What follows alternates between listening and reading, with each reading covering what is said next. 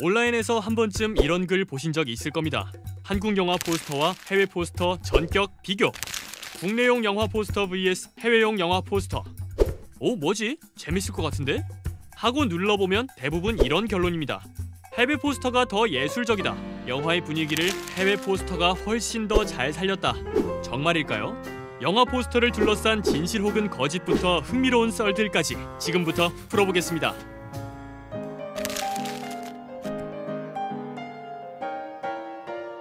영화의 첫인상을 결정짓는 영화 포스터.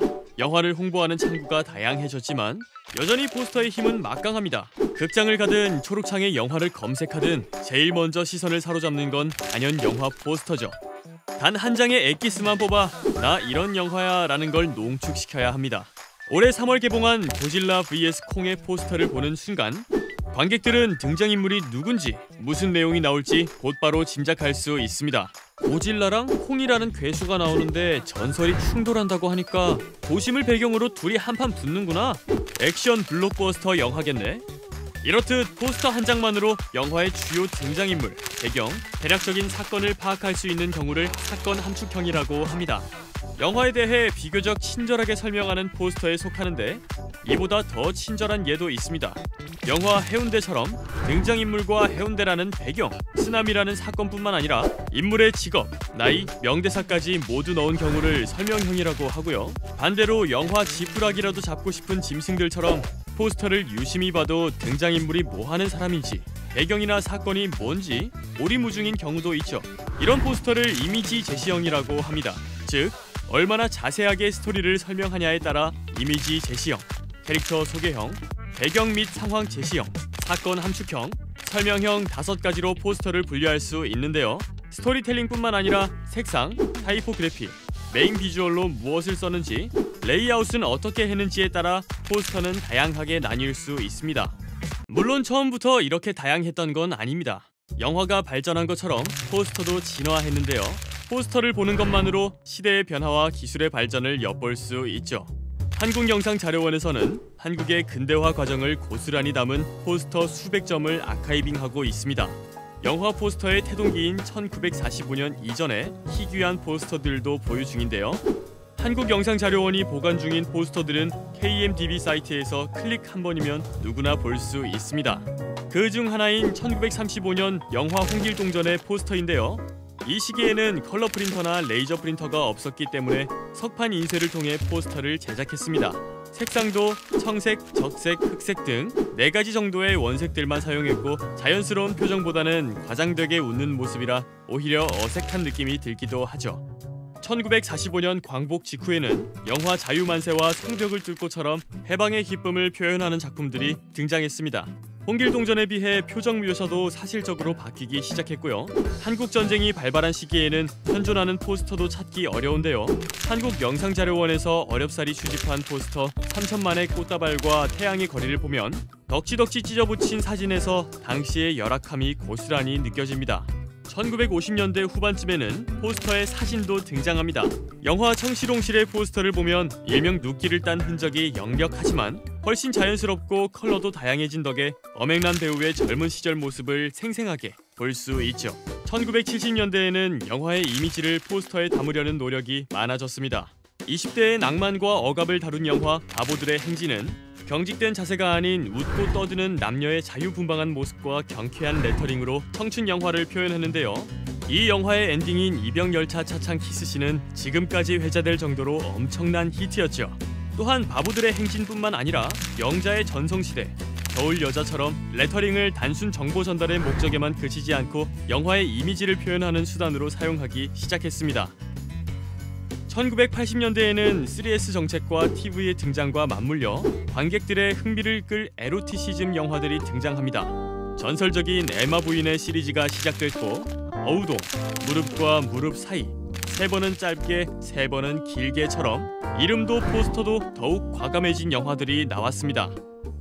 1990년대에는 감각적이고 예술적인 포스터들이 급증합니다. 지저분한 배경은 과감히 날려버리고 인물만 강조한 영화 투캅스 3와 테러리스트의 강렬한 포스터도 있고요. 영화 무와 돼지가 우물에 빠진 날처럼 타이포그라피가 강조되는 인상적인 영화 포스터들도 등장했습니다. CG가 발달하면서 영화 구미호에서는 배우 고소영을 말 그대로 구분할 구미호로 만들기도 했는데요. 지금 보면 좀 웃기지만 당시에는 실험적인 포스터가 아니었을까 싶습니다. 현대에 오면서 영화 포스터에 등장하는 사진의 제작 방식도 많이 달라지고 있습니다. 과거에는 정해진 컨셉에 따라 연출된 사진을 많이 찍었는데요. 최근에는 영화 무뢰한, 남과 여, 검사외전처럼 촬영 현장에서 찍힌 스틸 사진을 그대로 쓰는 경우가 많다고 합니다. 현장에서만 포착할 수 있는 배우들의 감정선을 스틸 사진의 매력으로 꼽을 수 있겠죠. 티저, 메인, 캐릭터 포스터 등 포스터의 종류도 다양해졌습니다. 티저 포스터는 메인 포스터 공개 전 관객들의 궁금증을 극대화하는 용도로 제작되는데요. 영화 아가씨의 티저 포스터를 보면 이 영화의 장르가 무엇인지 누가 출연하는지 전혀 알 수 없습니다. 영화를 보고 나서야 상징적인 씬들이 담겨 있음을 알 수 있죠. 이후 공개된 메인 포스터는 등장인물이 확실하게 드러나고 손을 쥔 각도와 세기에 따라 인물들 사이의 관계를 보여줬습니다. 검은색 톤을 사용해 스릴러 영화의 미스터리한 분위기도 10분 반영했는데요. 그 외에 인물 한 명 한 명의 캐릭터와 관계를 부각한 포스터도 별도 제작되었습니다. 천편일률적으로 똑같았던 과거 포스터와 천차만별인 지금의 포스터 사이에도 공통점은 존재합니다. 포스터의 제1원칙, 관객의 흥미를 끌어야 한다는 점인데요. 영국의 영화 전문지 엠파이어는 성공적으로 관객의 흥미를 끈 역대 영화 포스터 베스트 50을 선정한 바 있습니다. 15위는 고스트버스터즈의 포스터입니다. 누구나 한 번쯤은 이 캐릭터를 본 적이 있을 텐데요. 그게 바로 영화가 15위에 매겨진 이유입니다. 검은색, 흰색, 빨간색 단 세 가지 색상만 사용해 전 세계인이 기억할 만한 강렬한 포스터를 만들어냈죠. 14위는 쿠엔틴 타란티노 감독의 펄프 픽션입니다. 이 포스터가 왜 훌륭한지 알기 위해서는 펄프 픽션이 무슨 뜻인지 알아야 하는데요. 펄프 픽션은 저질 종이로 만든 삼류 잡지에 실린 작품을 뜻합니다. 그 느낌을 살리려고 일부러 구겨진 질감을 살리고 10센트라는 가격까지 붙였습니다. 10센트 잡지 같은 포스터 위에 황금 종려상이라는 타이틀이 붙어서 범접할 수 없는 힙함을 만들어냈죠. 다음 소개할 작품은 9위에 랭크된 아메리칸 뷰티의 포스터입니다. 영화를 보기 전엔 강렬한 느낌에 이끌리고 영화를 본 뒤 장미의 의미를 알고서는 다시 한번 포스터를 보며 끄덕이게 되죠. 궁금하신 분은 영화를 꼭 보시기 바랍니다. 8위는 양들의 침묵입니다. 양들의 침묵을 보지 않은 사람은 있어도 포스터를 처음 보는 사람은 거의 없을 겁니다. 왜 인물의 입에 나방을 붙여놨을까? 이유를 알 수 없지만 묘하게 소름 끼치기도 합니다. 나방의 비밀이 궁금한 관객들은 결국 영화를 관람하게 됐고 영화는 엄청난 흥행을 거두었죠. 5위는 알프레드 히치콕 감독의 현기증입니다. 이 포스터를 디자인한 솔 바스는 포스터계의 한 획을 그은 인물로 유명한데요. 나선형 일러스트만으로 만든 이 포스터는 보고 있으면 실제로 현기증이 날 정도로 강렬합니다. 대망의 1위는 바로 조스의 포스터입니다. 평화로이 수영을 하는 사람 아래 날카로운 이빨이 드러난 상어가 보입니다. 잔인한 표현을 하지 않아도 피를 흘리지 않아도 포스터 한 컷으로 간결하면서 압도적인 서스펜스의 느낌을 살렸죠. 영화 포스터에 숨겨진 또 다른 재미도 있습니다. 바로 국내용 포스터와 해외용 포스터가 다른 버전으로 제작된다는 점인데요. 아마 모르시는 분들도 많았을 겁니다. 예를 들어 마이클 베이의 진주만은 미국, 한국, 일본판 포스터가 다 달랐는데요. 우선 미국 포스터는 성조기를 배경으로 주연 배우들의 늠름한 모습을 담아 넘치는 미국 부심을 드러냈고요. 한국용 포스터는 성조기를 없애 미국 부심을 한 스푼 덜었습니다. 반면 미국의 핵을 정통으로 투하했던 일본판 포스터에는 성조기를 빼고 아예 분위기를 바꿔 두 남녀의 키스신을 넣었습니다. 언뜻 보면 멜로물 같기도 하죠. 아카데미 작품상을 받은 영화 기생충도 나라별 포스터로 화제를 모았습니다. 익숙한 한국 포스터와 묘하게 다른 느낌의 프랑스판 포스터, 일러스트레이션의 느낌을 살린 영국 포스터와 인터내셔널 포스터까지 비교해서 보는 재미가 쏠쏠한데요. 온라인에서도 국내용과 해외용 영화 포스터를 비교하는 글이 인기입니다. 영화 끝까지 간다의 경우 이선균의 얼굴을 강조해 자칫하면 코믹 수사극처럼 보일 수 있는 국내용 포스터와 달리 해외 버전은 긴장감 넘치는 서스펜스 분위기를 잘 살렸다고 평가받는데요. 좋은 놈, 나쁜 놈, 이상한 놈, 곡성, 고지전, 괴물 등 인물보다 영화의 이미지를 살린 해외용 포스터들이 훨씬 멋있다는 반응이 대부분입니다. 우리나라는 정말 등장인물 중심이 장난 아니다. 왜 우리나라 포스터는 이렇게 막 만드냐? 이런 댓글까지 있었는데요. 해외용 포스터는 영화 분위기를 담고 국내용 포스터는 배우 얼굴만 강조한다.